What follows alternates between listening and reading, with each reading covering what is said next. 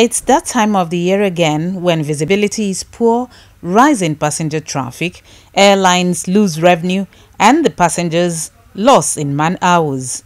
Nigerian Civil Aviation Authority has issued a weather alert to pilots indicating hazards associated with Harmattan dust haze in flight operations, especially in challenging terrains with low visibility. This former spokesman, Nigerian Airspace Management Agency, says he expects compliance from pilots. Danger is when you go there and they are telling you the weather there is not good. It's not good for you to land. Visibility when visibility is poor, when you cannot see the wrong way. So and you, you make one or two attempts, you have to come back to where you departed.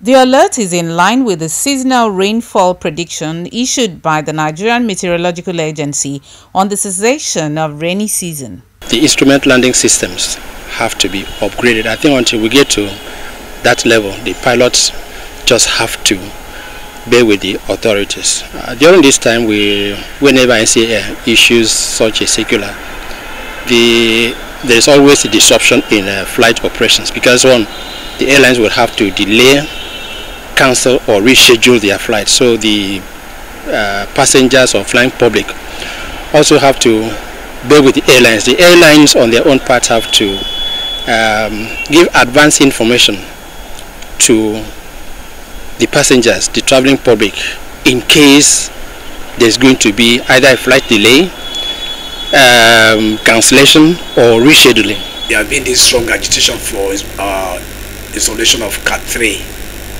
and that Cat 3 is more uh, uh, of precision.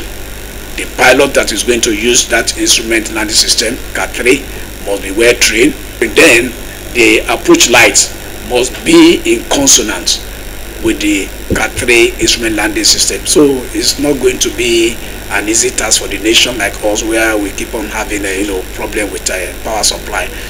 The consequence of the Harmattan is a heavy fog, hence air to ground visibility is considerably reduced.